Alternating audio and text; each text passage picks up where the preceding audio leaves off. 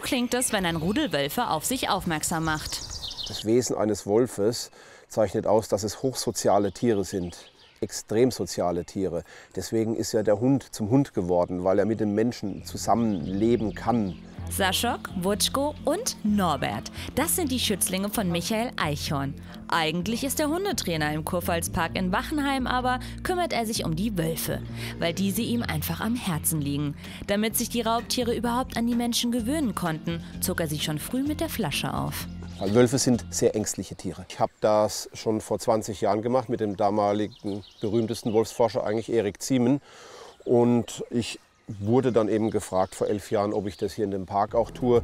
Doch so sehr es die Tierschützer freut, dass sich schätzungsweise 800 Wölfe hierzulande wieder heimisch fühlen, so erschreckend finden es andere.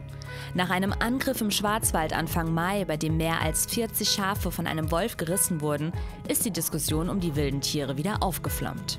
Nach aktuellen Zählungen leben in Deutschland zurzeit 60 größere Rudel und 13 einzelne Paare, überwiegend im Norden und Osten Deutschlands. Dass der Wolf nun auch wieder in Süddeutschland vorkommt, ist derzeit noch ein Einzelfall. Umso unerwarteter traf es die Schäfer. Baden-Württemberg war nicht vorbereitet, nicht wirklich vorbereitet auf den Wolf. Ähm, und es ist auch so, man nennt es Surplus Killing, wie der Fuchs im Hühnerstall. Ähm, die Schafe können nicht weg. Das heißt, der Beutetrieb, der wird immer wieder aufs Neue aktiviert, der Tötungstrieb.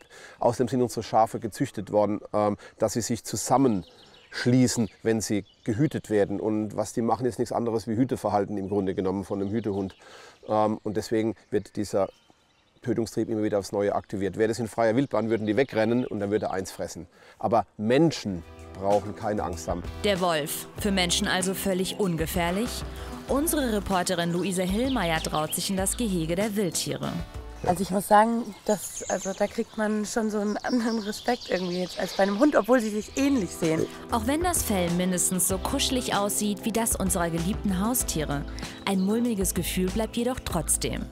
Michael Eichhorn wird seine Mission im Tierpark Kurpfalz weiter verfolgen und den Besuchern demonstrieren, dass die Mythen rund um den Wolf und seine Gefährlichkeit für uns Menschen vor allem Märchen sind.